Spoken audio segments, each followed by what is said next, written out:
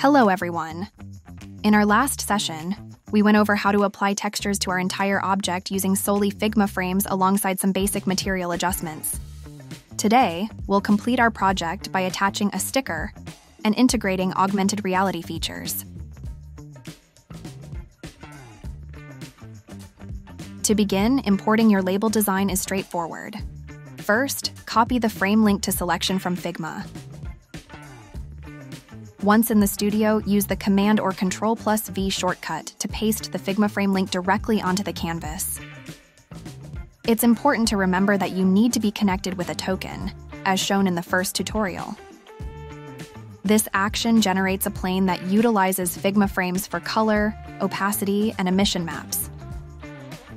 Use the gizmo to reposition and rotate the sticker, ensuring it aligns on your desired surface. By dragging the sticker using the gizmo's pivot point towards the surface, it will automatically stick on it. You have the flexibility to reposition or resize it as needed. As the sticker functions as a separate object, it is simply attached to another, larger surface. To modify the sticker's content, just update the Figma frame in Figma.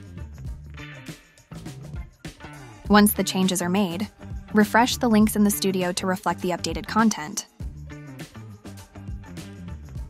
This process ensures seamless integration between design updates in Figma and their representation in Vectary. As a final touch, we will set the emission value to zero to prevent the sticker from emitting light. A quick tip. Switching opacity mode from blend to mask mode is recommended for better performance and visual output in augmented reality, but use blend mode if the image has transparency. The design is ready to be viewed in augmented reality. Start by double-clicking the background to clear any active selections.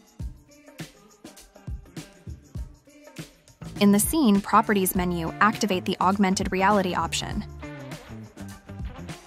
Now you can simply scan the QR code to view it.